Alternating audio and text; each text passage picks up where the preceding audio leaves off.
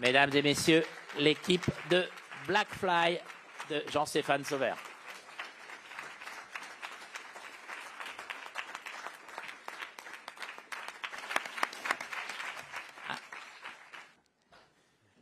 We're going to start by uh, introducing everyone, starting from right here. Well, I would say the, the industry has been upending the writers and the actors and the directors for a very, very long time.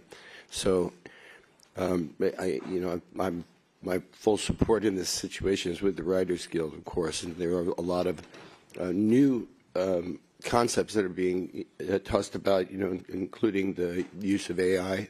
Um, and this, I, it just strikes me as a kind of human obscenity when to, for, for there to be any pushback on that from the producers. I think that the, um, the first thing we should do in these conversations is, is change the Producers Guild and title them how they behave, which is the Bankers Guild. And so it's, it, you know, I, I, I, this, it, it's difficult, though, for so many people, so many writers and so many people in, in, in the industry wide to, to not be able to work during this time.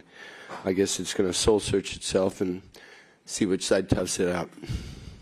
If you did address this topic during their work, um, yeah, and if there were any consultants, Tye and Sean as well, uh, it's um, not only about physical stuff, but lots about mental health stuff in this movie. We've been getting close to this community for a very long time, and we're talking to medics who are working double shifts, triple shifts, sometimes 36 hours straight, um, just to make ends meet, just to put some cash back. And they're, they're simply not paid enough. And they carry a huge burden. They carry a lot of responsibility in the world. They're our protectors of society and our guardian angels. And I think we don't put enough emphasis around the importance of their jobs and the importance of their mental health. I think that's the film is very confrontational with that, um, and uh, very much um, an expose on mental health in, in, in, that community. That was something we we all were very um, we yeah we wanted to treat with, delicacy and and really re respect and, and kind of highlight in the film. The two years leading up to making Black Flies, I was 16, 17 hours a day for two years working in partnership with the Los Angeles Fire Department and their, and their paramedics on COVID response, both in um, testing and vaccination. So there was a lot of exposure and a lot of um, friendships that came out of that, and uh, some of the conversations having related to the mental health thing. I mean, it is statistically um, more prevalent in these kinds of uh, um, uh, jobs. Because as they told us, and that's the, also the line at the end, that there is more suicide actually in uh, this community as uh, online duty, so which is a real problem because it's mentally difficult to support, you know, this kind of job. It's not just a job, but when you have some somebody dying in your ambulance, you know, you feel, of course, you know, guilty, and it happened a lot, much more than we think. You know, it'll be interesting to see how the what we call the community um, of uh, first responders. I'm sure there will be, you know, as there always is, some who will say, "Hey, this isn't the way we do this," or you made it look so dark and bad. And but I can we can tell you that the 99% who aren't talking are saying, "Thank God this fucking thing was made because this is our life."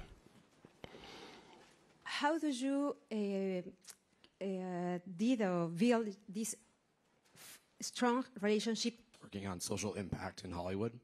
Um, Sean, I'll go to you just to build on that. Others I want to add. Can you talk about healthcare access in the U.S. and millions of Americans don't have access to quality affordable health care. Well, Sean and I actually stayed in a hostel and we slept in bunk beds uh, during the process of shooting. So we got really close. I'm just kidding. uh, All right, big mouth, give me my ring back. yeah, we, um, yeah, we, well, we, we spent a lot of time together training with these paramedics and I think both of us were just so eager to learn. You know, we, we made this movie in 23 days, which was not a lot of time. And to do it in New York, New York is a beast of a city to go make a movie in. And uh, I think that you we we just knew we were going to be up against the clock. We knew it was going to be a very intense experience. We knew that with the way that David and Jean Stéphane wanted to make this film, we were going to see everything. So we had to make sure that everything was was accurate. You know, it's incredible because they were really paramedic. At the end of the movie, they, had, they were almost better than the paramedic, or at least the same, you know, which I was really impressed because as I'm shooting also long shot, we can't do edit- editorial trick kind of stuff, you know. It has to be, they have to perform, you know, as it's an emergency call. So they have to do exactly what the paramedic are doing when they go to a call, you know. So I was really impressed by uh, Sean and Tye because they're really doing it, you know. Editorial trickery. Not true. Not true.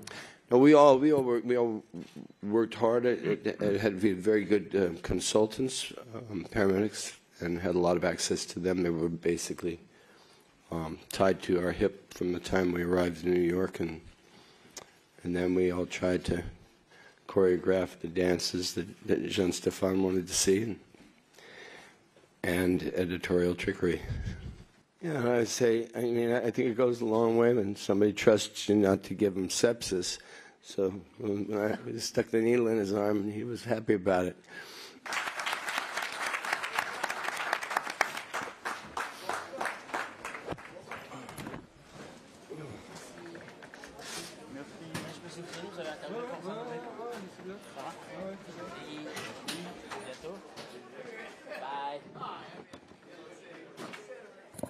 Merci à